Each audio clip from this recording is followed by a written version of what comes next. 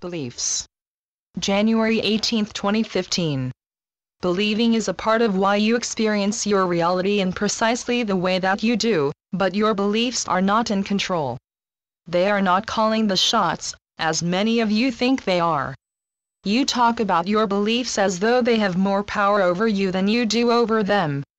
Some beliefs that you hold serve you very well, and those that you would rather change or get rid of completely are not as powerful as you think. They are not the creators of your reality. You are. And you use your beliefs to create a very particular experience of reality. It is not as necessary as many of you think to identify, deconstruct, and eliminate the beliefs that no longer serve you. It is more important for you to recognize that all beliefs serve you, because all of them provide you with the precise reality that you want to experience. So then what do you do about these beliefs? How do you use them to your advantage?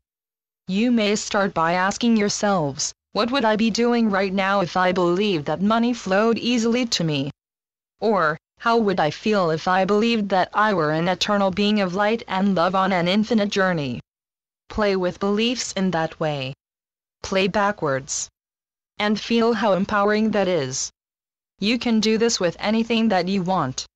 Any way that you desire to experience your reality, you can start by asking yourselves how you would feel and what would you do if the belief you wanted to hold were true.